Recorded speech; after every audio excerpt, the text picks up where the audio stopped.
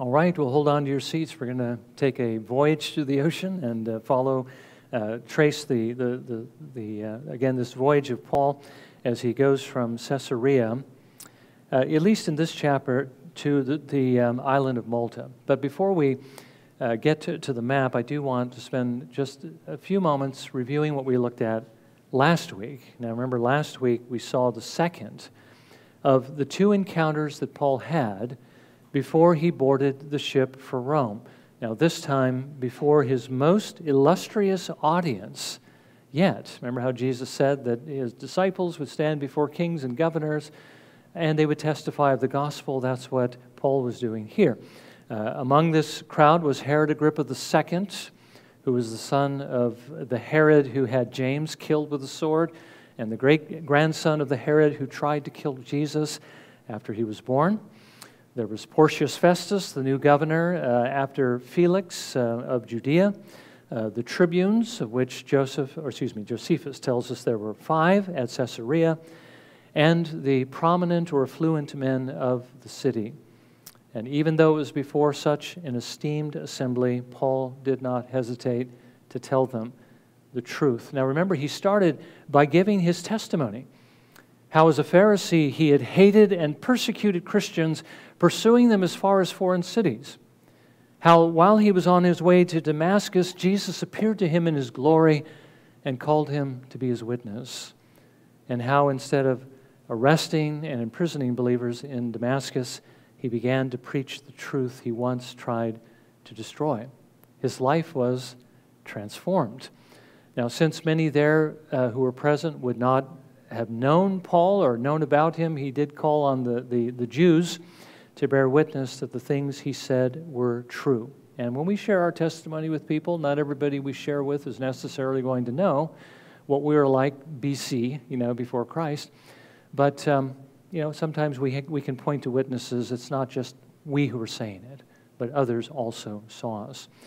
Now, this reminded us that though it is important that we be able to point to the objective evidence, that evidence that is outside of us, that God exists and that the Bible is His Word, that our subjective evidence is also important, what the Lord has done for us. We need to be ready to tell others. Because Paul's experience on the road to Damascus was not unique in every way. He tells us in Ephesians 2 that we also were dead in our sins and we were the enemies of God. But while we were in that condition, He also made us alive purely out of His mercy and His grace. And now, like Paul, we also serve Him. I mean, what's the difference? Paul was dead, He made him alive, He began to serve Him. Same thing is true with us. So we can share that with others and show them the difference that Christ makes in our lives. Well, from there, he went on to share the gospel. Of course, we don't want to eliminate that. It's not just a change of life but it is that Jesus suffered, that he died, and that he rose again, the firstborn from the dead, never to die again, and that it's through faith in him that we are saved from the wrath of God. Now, when Festus heard him, he thought that he was crazy. And sometimes people are going to think that we're crazy when we share the gospel with them, especially in today's society, which is so steeped with secular science. But notice that Paul didn't, wasn't shaken by that. He continued to affirm with calm confidence that the things that he said were true because he had genuine faith. He was firmly convinced. There was no doubt in his mind. Paul invited King Agrippa to come to Christ, but again, Agrippa was unwilling. And then finally, after conferring with the council, Agrippa concluded that Paul might have been set free if he had not appealed to Caesar. But since his appeal had been registered, it had to be carried out. Paul had to be taken to Rome. But again, Paul didn't mind. That's what Paul wanted. He wanted to go to Rome because that is where Jesus said he would go to preach the gospel, and that's really all that Paul wanted to do. Now, this morning, Paul begins his voyage to Rome.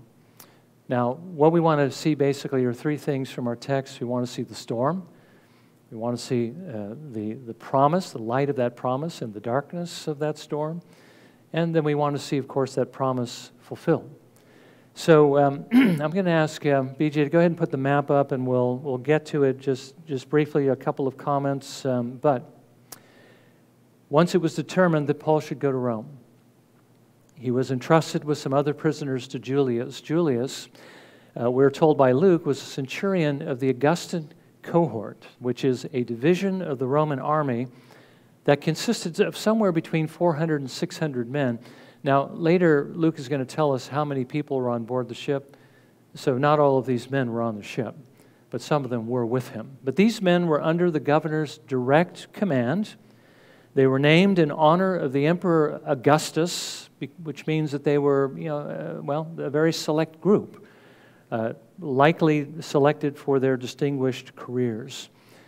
Now, he loaded them onto an Adramyttian ship, and Adramyttium was a city on the west coast of Asia Minor between Pergamum and Troas. If you, if you look at Asia on the map, okay, uh, on the western coast of Asia Minor, you'll see Pergamum, but I don't think um, Troas is shown. Um, but the ship originated from Adramyttium. I don't think that's on the map either. And from there uh, was likely headed in that direction with its cargo. Now, Luke mentions that Paul was accompanied by Aristarchus of Macedonia. Perhaps you remember Aristarchus. He was one of those two um, souls that was dragged before the mob in Ephesus um, uh, when Demetrius and the silversmiths, remember, were complaining against Paul. Uh, uh, he had earlier accompanied Paul on one of his trips. Paul calls him his fellow worker. And interestingly, in Colossians 4.10, he calls Aristarchus his fellow prisoner or my fellow prisoner. Because on board the ship, he goes with Paul to Rome, he actually shares in Paul's imprisonment. Don't know if he's necessarily uh, a prisoner, but he is there to minister to Paul. Now, William Ramsay suggests that he accompanied Paul on this trip as a slave because Paul could not really have friends uh, along for this journey. Now, again, I also ask you to note the use of the pronoun we, which indicates that Luke is again with him. And Luke was likely allowed to accompany Paul as his personal physician. Now, what follows is a rather comprehensive account of their travels, again, showing Luke's uh, uh, attention to details. So, see if you can follow along. I think there is a line that shows you where things begin and where they go.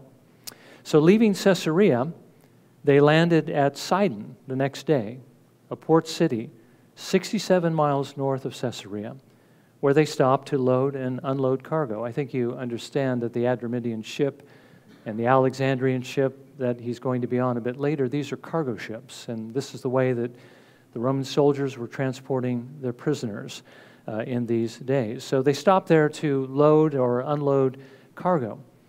And here Julius allowed Paul to visit his friends and to receive care. Uh, we read earlier in the book of Acts that Paul and Barnabas um, when they were on their way to the Jerusalem Council, that they had traveled through this area, encouraging Christians. Uh, and now these Christians uh, who had come to faith through their ministry were allowed to minister uh, to him. Uh, one thing that we should understand as believers okay, is that we should always be looking for opportunities to serve our brethren, right? Especially when they happen to be those we've benefited from or those who are deeply involved in the work that the Lord is doing, uh, remembering that when we serve them, we are actually serving our Lord, aren't we? Jesus said, Whatever you do to the least of these brothers of mine, you are doing to me. So we do need to be careful how we, we treat one another because that, that, remember, we saw before, that means whatever we do negatively, we're also doing to the Lord, but whatever we do positively, we are ministering to the Lord Jesus. Now, this kindness on Julius's part also shows the respect that he had for Paul, whether for him personally or for the fact that he was a Roman citizen and he had to protect. But this will later be his motivation for sparing the prisoners that the soldiers will want to kill. Now, from there, they sailed under the shelter of Cyprus. You'll notice that Cyprus is an island uh, off the coast of uh, Palestine. And you'll look at the eastern side, there's that uh, projection, that peninsula that is extending out. Uh, they were sailing uh, basically behind it in order to protect them from the westerly winds of the summer and fall. And that's the time of year that it was at, at this time. Then, traveling along the coast of Cilicia and Pamphylia, you can see they're kind of hugging the underside there of, of Asia Minor. They landed at, at Myra in Lycia. Uh, that's that projection at the bottom of Asia Minor. Now, Myra was a, a vital port for grains ships that were sailing between Alexandria, which you know is in Egypt, and in Rome. And here Julius found a ship from Alexandria headed for Italy. So he put Paul and his companions on, on this ship. Now, progress was slow from this point. And after many days, they arrived off Cnidus. And I think uh, that is on the map there as well. You'll see it there just below Asia toward the western side. An island that's off the southwest coast of Asia Minor, 130 miles from uh, Myra. Now, here, they lost their protection from the winds, uh, the northwest wind in particular. So instead of heading due west, which would have taken them basically to the north of Crete, and Crete is that next island sticking out there. They took a southwest route that brought them to its southern side, again, that they might use the island for protection against the wind. Pa- uh, sailing past Salmone, which is on the eastern side of the island, uh, they came to Fair Havens, a harbor on its southern side. Uh, while they stayed there, the weather continued to worsen. Now, Luke tells us the time of year. He says the fast was already over. And he was referring here to the fast that was connected to the Day of Atonement. That is the fast that is known as the fast, and that is held in late September through mid October. It varies, you know, from year to year because of the Jewish calendar. Now, at that time, uh, one commentator writes, weather on the Mediterranean became unpredictable and sea travel precarious. Well, so why didn't they just stay where they were then at this particular time? Well, the problem is that Fair Havens presented its own set of difficulties. Because of its location, it was exposed to fierce winds during the winter months. So it really wasn't a suitable harbor in which to winter. So Paul warned them, though, not to go further. They would lose not only the cargo and the ship, but also their lives. Now, Paul said this not because of divine revelation, because that in fact did not happen, but he said this from his previous experiences. Remember, this, this, Paul's not a novice here. He's already made three missionary journeys, he's been on ships a number of times. But he was basically looking at the signs, you know, and saying, this, this just isn't a good time to sail.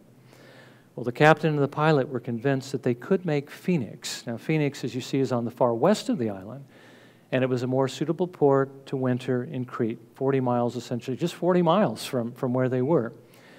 So, being persuaded by the captain and the pilot, the centurion decided to continue. And when they thought they found their opportunity, they departed, sailing close to the shore. But as they traveled around the Cape, and I don't know if you can see it here on the southern part of the island, essentially Fair Havens is, is on. Um, the east side of a small projection of land that we would call a cape. As they rounded the corner, they were struck by a violent wind that's called Euraquilo. And uh, what that essentially means is a northeaster, very, very strong wind. Okay? Unable to face the wind, they gave way to it and allowed themselves to be driven along. And if you'll notice at this particular point, they start getting driven uh, towards the southwest by the northeast wind. The wind pushed them towards a small island by the name of Clauda, which gave them temporary shelter from the wind. Uh, at that point, they had a difficult time securing the ship's boat, and the ship's boat there is essentially a small lifeboat that would be used to abandon ship, which we see that the sailors are going to attempt to do in just a few moments. They also undergirded the ship with support cables now, one commentator writes because of the danger of violent storms on the Mediterranean, ancient vessels carried ropes that would be tied around the hull sideways in order to strengthen it in an emergency. I, I think you can imagine how that would instill confidence uh, while you're out at sea that you have your ship being held together by these external ropes. But anyway, it just shows you how difficult things were getting. Now, fearing that they might run aground on what is called the Syrtis, you know, the Syrtis are essentially shallows, a sandbar that is further south off the coast of Libya, which on this map is um, called Cyrenaica. Uh, they put down the sea anchor. And they did that in order to slow their progress. They didn't want, again, to get stuck out in the middle of the ocean in the middle of that storm. The next day, they began to throw some of the cargo overboard. And the third day, the ship's tackle. And this would lighten the ship and improve their chances of survival. Now, the storm continued to blacken the sky for many days so that they couldn't see the sun or the stars. And, you know, that detail is important because that's the way they navigated. You don't see the sun and the stars. They couldn't navigate. They didn't know where, where they were. They didn't know how to get out of you know, the situation they were in. So, little by little, they were losing hope that they would even survive. Now, you know, one thing that's interesting about this is that this is the way the Lord works. in virtually every situation. Uh, sometimes maybe in a, a, smaller way, sometimes in a greater way, depending upon what we need, right? J.C. Ryle once pointed out in his book, and I've, i think I've mentioned this several times Christian leaders of the 18th century. He talks about the situation in England before the Great Awakening broke out and how dark the situation got, how immoral the behavior was among the people who lived in Great Britain and also in New England, and how there was basically no one preaching the gospel. But in the midst of this darkness, the Lord breaks in with this great light. He raises up all these ministers. He, he uh, sends this great revival, His Holy Spirit. Many people are, are awakened and converted. And he points out that the Lord often allows the situation to get very dark before he breaks in with his light. And the reason being is the darkness makes the light all the more conspicuous. You know, if everything's going well and the Lord blesses you with something, you don't think much of it. But if, if you're in dire straits and the Lord gives you exactly what it is you need, well, then that's quite impressive. That's when we see it, and that's when we give God the glory that we should give. And that was the case here. So, in the middle of this darkness, the Lord now sends his promise. After many days, the crew became increasingly weak from lack of food, and Paul stood up and declared in verse 21 Men, you ought to have followed my advice and not to have set sail from Crete and incurred this damage and loss. Now, Paul was not saying, as we might be tempted to think, I told you so. You should, you should have listened to me. But you didn't. Now you're in trouble. But he was pointing to the wisdom that he had displayed earlier so that perhaps they might listen to what he was now about to say. He urged them to take courage. Though the ship would be lost and its cargo, they would survive. The God to whom he belonged, the God he served, sent his angel with a promise that he must stand before Caesar. Remember, this is what we've seen recurring through the book of Acts as Paul is like the Lord Jesus Christ setting his face to go towards Rome. And he knows that Jesus has already told him that he must bear witness in Rome of the gospel. So Paul knows he's going to get there. But he sends this angel again to remind him and to encourage him that he must. So this was the reason why all these things have taken place why he was arrested in Jerusalem, why he was put on trial before Felix and Festus and Agrippa that through his appeal, Paul would be taken to Rome where he might preach the gospel. But that is why Paul could not die. But God, in his mercy, also granted the lives of all who were with him. So he says, Be of good cheer. Because he says, I believe it will turn out exactly as God has said. Now, again, look at the confidence, look at the faith of the Apostle Paul. Paul had served the Lord long enough to know that God keeps his word. He does what he says. Now, we often think about faith in the context of justification, right? Where we are saved by God's grace through faith alone.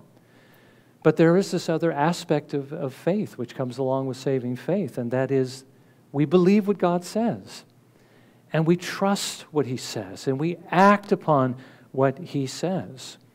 If we would simply trust the Lord more, we would be encouraged to act more on His Word. And if we acted more on His Word, we would see more of His power and His glory displayed in our lives. We need to remember that God is faithful and He will do what He said He would do. We, on our part, simply need to trust him. And that's what Paul did with his steadfast, steadfast trust that took away all of his fear. That's the reason why Paul was able to do what he did in his life was because he trusted the Lord and was not afraid of what man would do to him, nor even, you know, so-called the forces of nature, because he knew they were also under the Lord's control. Well, finally, we see the Lord's promise deliverance. After 14 days, as they were being driven about the Adriatic Sea, and see the map is still up there, so um, the Adriatic Sea, as you can see, is up there by Italy. That's where we uh, today call the Adriatic, but in those days, it extended all the way down between Greece and, and Sicily, Sicily being there at the tip of um, Italy. Um, as they were being driven about in this area about midnight, the sailors saw signs that they were approaching land. So they began to take soundings. You know, they, they threw a lead weight with a string overboard to measure the depth. And the first reading was 20 fathoms, about 120 feet deep. When they had gone a little further, they found it to be 15 fathoms. The water was getting shallower. They were afraid that they might run aground on the rocks. And so they let down four anchors and wished. Uh, the actual word in the Greek is prayed, and who they prayed to, we don't know. Uh, but they prayed for daybreak. They hoped for daybreak when they'd get a better idea of where they were and what their situation was like. Now, some of the sailors tried to make a break for the land by letting down the ship's boat, pretending that they were going to lay out some more anchors to secure the boat. But Paul saw what they were doing, and he told the centurion, verse 31, which seems sort of strange or mysterious. Unless these men remain in the ship, you yourselves cannot be saved. You know, it almost seems like Paul is saying, unless we all stick together, God's not going to let any of us survive. But that's not what he was saying. What he's saying is if these sailors leave and there's nobody around to, to man the ship, then we're going to die. Okay? So these men need to stay on board. So otherwise, you and your men and all of us here are going to die.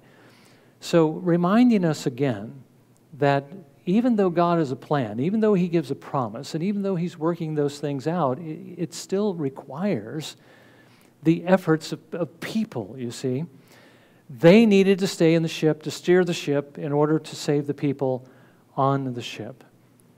Now, God most often fulfills His promises in this way, not through supernatural interventions. We don't really see anything supernatural besides the angel, of course, appearing to Paul. But we see him working through the situation with the boat and the wind and the storm and the sailors and so forth. He works by guiding people and he works by guiding circumstances to bring about his purposes. So after Paul said this, the, the soldiers immediately went to the ropes and cut it, let the boat fall away, so everybody would have to stay in the ship. And then he encouraged them all to eat. If they didn't eat soon, they wouldn't have the strength to continue. Uh, the sailors, again, they needed to steer the ship, so they needed strength to do that. They also needed the strength to be able to swim to shore, because that's also a part of the equation. And without these things, without eating, they also would perish. So again, more means to God's ends. Now, God had promised that none would die, but again, there was something that they needed to do. Then he took some bread, Paul, and he gave thanks to God. He broke it and he ate it in front of them. And seeing his faith, it encouraged the rest of them also to do the same. Now, Luke tells us there were 276 persons on board, and I don't think that that's some sort of cryptic message. But he was essentially telling us that all these people were brought safely to shore. Paul's example of, of eating in front of them and his faith in the Lord that things would come out well encouraged all of these men. And I think maybe we can take this lesson from that. We should never think that if we are alone, if there's only one of us, okay, there is nothing that we can't do because one isn't enough. With God's grace, one person can make all the difference. Remember that story about Jonathan? In the Old Testament, Jonathan and his armor bearer, and he's looking at the Philistine garrison, you know, that's, that's uh, up on the hill, and he thinks to himself, you know what? God doesn't need an army to overcome these guys. He can do it through one. So he said to his armor bearer, let's go up, and let's fight them. And, and so they do, and they defeat them, right? Now, that doesn't happen in every circumstance. God gave him a particular faith to do that, but it does remind us that God can do great things even through one person. So even if we happen to be alone, like Athanasius against the world, even if it's just one of us, we shouldn't be afraid to let the Lord work through us. Now, after they had eaten, they began to uh, throw the, um, the wheat uh, overboard. Um, and again, they, they didn't um, need these things uh, any longer because uh, they were essentially uh, just moments away from um, going, you know, being actually landing. But at daybreak, they saw the shore. They didn't recognize it, but they did see a bay with a beach. And they determined to drive the ship onto it. So, cutting the anchors loose, they hoisted the foresail, giving them more. I guess the wind must have been in their favor, and they, they headed for it. But before they could reach it, the ship ran aground on a reef, and the waves began to break it apart. The soldiers wanted to kill the prisoners so that none of them would escape. But because the centurion wanted to save Paul, he ordered them not to, but commanded that everyone who could swim should make it for the shore, while those who couldn't would find pieces of wood to help them. And they were all brought safely to shore. Now, again, you know, you have this dark situation. In the midst of that dark situation, you have the Lord interject his promise, and we see the Lord kept his promise. Okay, not one of the sailors, not one of the soldiers, not one of the prisoners died. And this reminds us that God keeps his promises. Not one word that he has spoken will ever fail. And the reason that he will keep these promises is because of what he has done through Jesus Christ. You know, if, he, if he's given us a son, won't he also give us with him all things?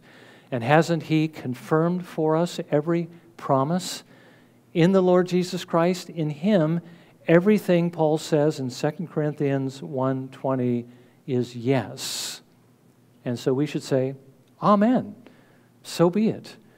We just simply need, if we, if we want to experience again the Lord's faithfulness in the fulfillment of his promises, we simply need to trust him and to obey Him on the basis of those promises, even when we don't see the fulfillment of the promise. We still need to live in light of that promise and obey it. It reminds me again of Jonathan Edwards, who, um, as he was thinking about facing the uh, congregation of people that were really upset with him because of, um, what was it, because he came against his grandfather with regard to his views on the Lord's table, he realized that he had to preach the truth, even though he knew his congregation would get very angry. So rather than letting what he thought the congregation would do, what the outcome would be if he did what he was supposed to do and then made his decisions based upon what he thought they might do, instead he looked at God's word and he says, What should I do? And he did that and he let the Lord work out the circumstances that were ahead of him. So, in other words, he obeyed in light of God's promise that he would work all of this together for his good. And he didn't make his decision based upon what he thought the outcome would be if he did the right thing. Okay? So that's what it means to live in light of the promise and, and in, in, in light of what God says in his word. Don't think about what might happen if you do what God calls you to do. Just think about what God calls you to do and do that and then trust God that He's going to work out the circumstances for your good and for His glory. Well, let's, uh, let's bow in a moment of prayer and let's, uh, uh, as we pray, let's prepare uh, to come to the table this morning.